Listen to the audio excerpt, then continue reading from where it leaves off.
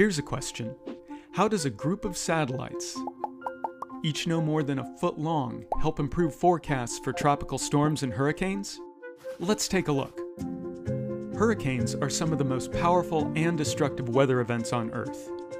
The 2020 Atlantic hurricane season was one of the most brutal on record, producing a record breaking 30 named storms.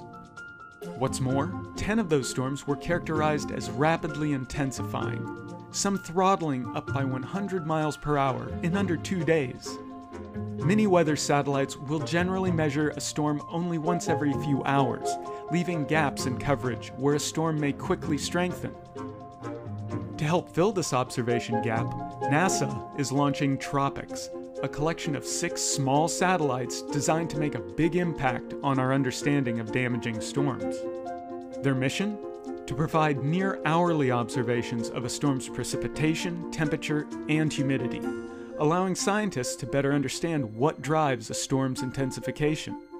To achieve this, researchers at MIT's Lincoln Laboratory developed a miniaturized microwave radiometer that's about the size of a cup of coffee. This small instrument will measure storm strength by detecting the thermal radiation naturally emitted by the oxygen and water vapor in the air.